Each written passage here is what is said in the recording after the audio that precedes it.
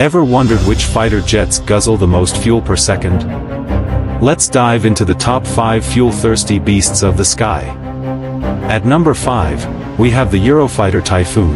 Its twin EJ-200 engines burn about 4 liters of fuel per second at full throttle.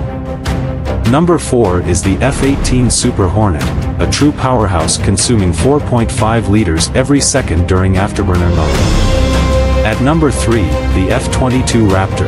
This stealth jet roars through a staggering 5 liters per second in afterburner. In second place, the Russian MiG-31 Foxhound, an interceptor that guzzles over 6 liters of fuel per second at max speed.